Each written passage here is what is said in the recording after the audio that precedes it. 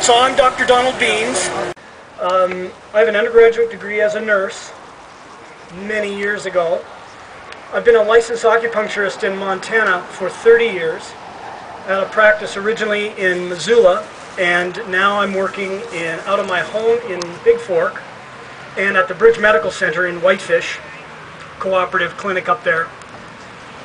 Um, I'm also a certified homeopath. I went to the year-long postgraduate class uh, for the Foundation for Homeopathy in uh, Seattle, Washington. And that was in the early 90s. And now here I am speaking to you.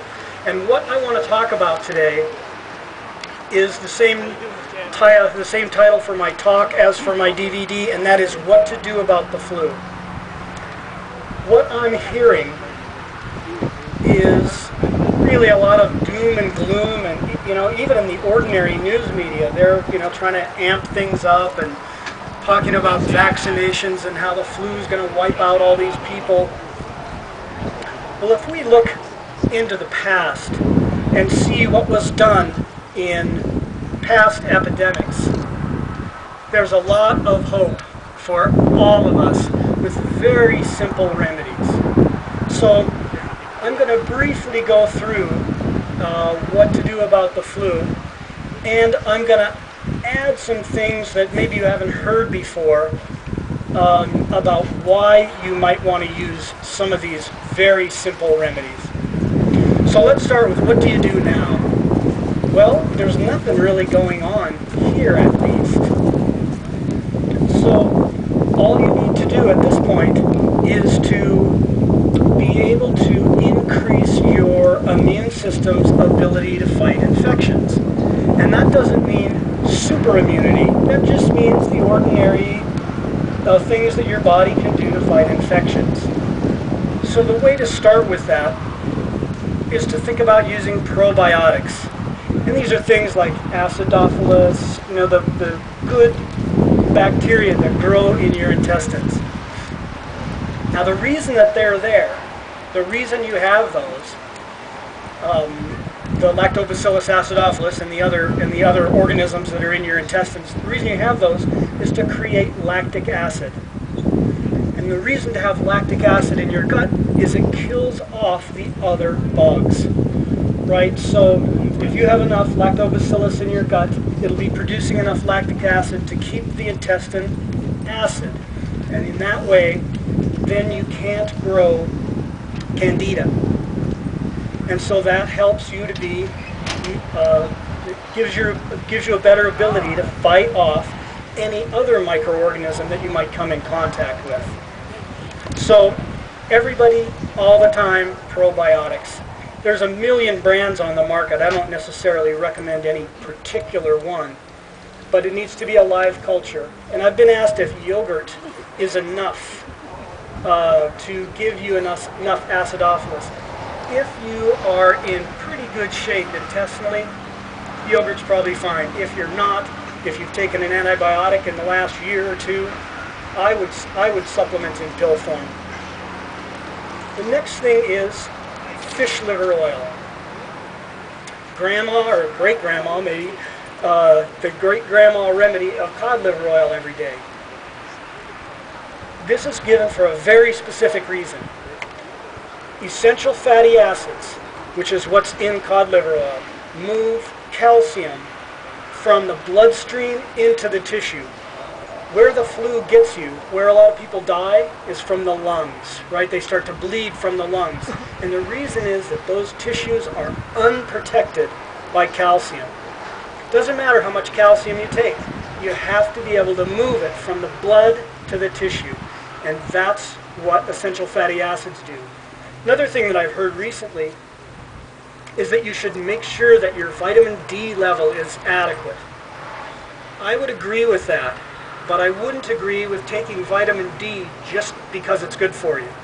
And here's the reason.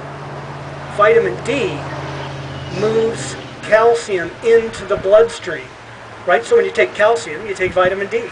And that takes that calcium and moves it into the bloodstream. But then what? It has to get into the tissue.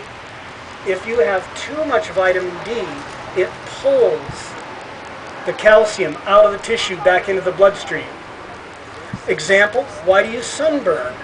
I mean, what's the physiology of sunburn?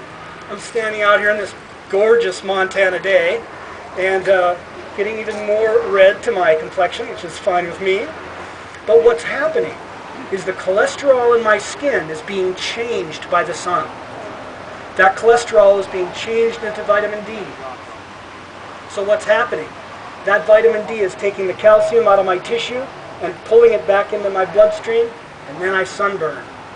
But if I take essential fatty acids like fish liver oil, that puts the, the uh, calcium back into the tissue and you do not burn. And your lungs are protected. All your tissues are protected. So that's the second thing. Third thing, another grandma's home remedy to acidify the blood a little bit. Glass of water, tablespoon of apple cider vinegar, teaspoon of honey. I mean, it just it sounds like nothing. It sounds like, why would you even do that? It's not medicine.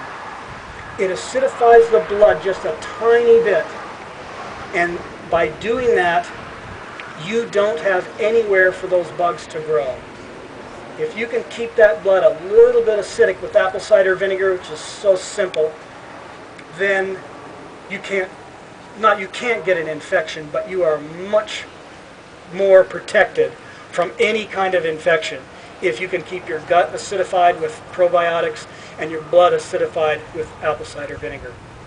And if you take the fish liver oil, you're getting the vitamin D, but you're getting it in a food level dose, not in a pharmaceutical dose, which if you go to the store and buy vitamin D3, for instance, it's cholecalciferol, right?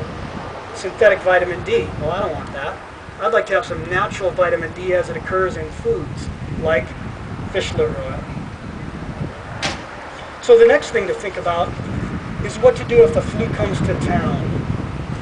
You know, people start getting it, things start happening. There's a couple of remedies, and let me say, this two-page sheet is floating around here someplace, and actually Sun Life Health Foods has put a price list for all the things that are on this list. They put a price list together. Those are floating around here because I'm going to start saying words that you need a, a spell check for, and I'm not going to spell them all out. So there's two flu preventive remedies. One is influenzinum, right? A remedy made directly from the flu. That's been used for more than 100 years and very protective against the flu. And the second one is oscillococcinum. I see Stephen walking around over here with a bunch of those. Uh, so you can get one from him and then you can understand what I'm actually saying. That'll be good. So when you're taking influenzinum or oscillococcinum, it's in a 200C potency. And you take it for three to six days if the flu is around. And it's protective at a certain level. You know, it's like, it's like uh, any kind of immunizing against anything doesn't work on everyone. It's like treating any kind of illness with any kind of medicine. Doesn't work on everyone. Thank you kindly. I appreciate that. So then, what do you do if the flu actually shows up, like you actually get it? Um, there are some, a few main remedies. I'll just list the remedies, then I'll tell you what they're for. Gelsemium I'll go get is some one. more. It's made from the yellow jasmine plant. Uh, Bryonia is another one made from hops. And Eupatorium perfoliatum. Um, and these are all in 200C, all taken several times a day. But you have to differentiate which remedy works for the kind of flu you have. Because homeopathy is absolutely individualized, which means you have to look at the person's specific symptoms. So let's go back to the first remedy, gelsemium. That was the main remedy used in 1918